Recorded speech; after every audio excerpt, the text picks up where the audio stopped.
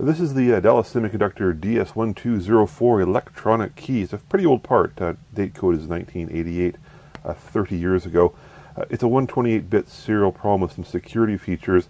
Uh, the idea of it would be uh, issued to a user and they would plug it into some equipment, a photocopy or maybe some industrial gear, and it would grant them access rights to it. It also had 128 uh, bits of memory, so you could store things like usage. So if you're doing like a pay-per-use type application, this was an attempt uh, at that. Uh, you can see it's uh, basically a plastic package. It's been epoxied. it's got a serial protocol interface on this side here.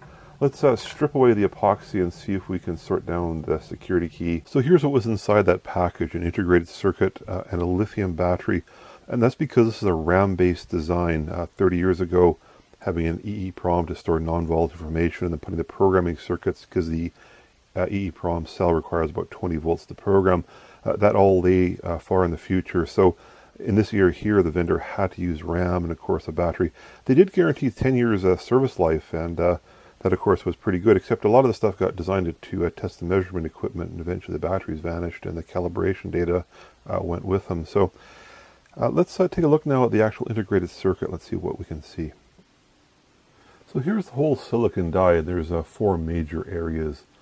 Uh, the first is the most obvious, of the regular pattern. Uh, if you count the columns, you get 16. If you count the rows, you get 16. And of course, that's 256 when you multiply them together.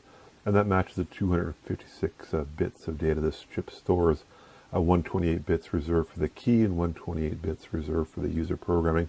You can see there's no distinction between the key and the actual user program. Uh, this is a very weak key uh, it would be very easy to hack it, but it wasn't really, I suspect, meant for super high security applications. Um, for example, you could have just, uh, partially de-encapsulated with a battery and of course uh, e-beamed and read the gates and figured out the uh, the key program very, very trivially. Um, the other two layers and below are logic gates. they have the classic pattern. you always lay down a voltage rail and a ground rail, then between them you lay down your gates. And that's why you see this very regular pattern. Um, and uh, there's only so many gates, of course. There's AND, OR, um, NOR, NAND, XOR, buffer, and invert. So uh, the patterns, of course, are very uh, repetitive. The interesting thing about the one in the lower left, it almost looks like those are touchdown pads, uh, which is uh, used during manufacturing, and uh, the wafer prober can actually program the part. But of course, that wouldn't make sense because they're all RAM based. Um, so perhaps they have a different function. Um, one neat thing about Maxim parts from the 1980s is that they had a lot of uh, chip art on them, and this one's no exception. If we uh, just pan over to the uh, upper left, we can see uh, a little key, and of course, since this is an electronic key, it's a very appropriate bit of artwork.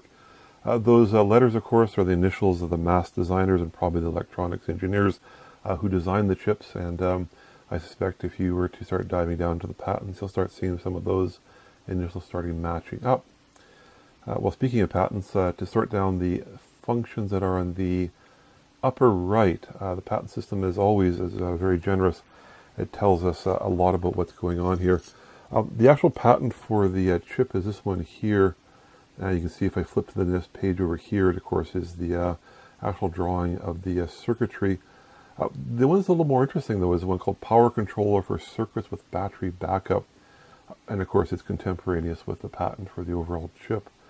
Uh, and if we come to this page here, you can of course see there's um, there's two inputs to a RAM for the powering. There's the battery and the external supply. And they spent a lot of effort, of course, to make sure that the uh, contents of the uh, SRAM doesn't get uh, corrupted. And uh, for example, here we see a FET. And then if I go back into the actual uh, chip drawing, we can see a very, very large FET structure here. And I think those, of course, match up. Um, and, and, likewise, if you want, I think there's a fairly good correlation actually in this diagram and the actual analog section. Uh, what else? Well, here we have, of course, the actual logo of the Dallas Semiconductor Company. Uh, this uh, firm was bought by Maxim eventually and uh, uh, folded into their offerings. Uh, otherwise, it looks like a very classic example of a mid-1980s integrated circuit. So, as always, if you'd like to take a look at these die photographs in greater details, I have um, more detailed photographs on my blog, electronupdate.blogspot.com.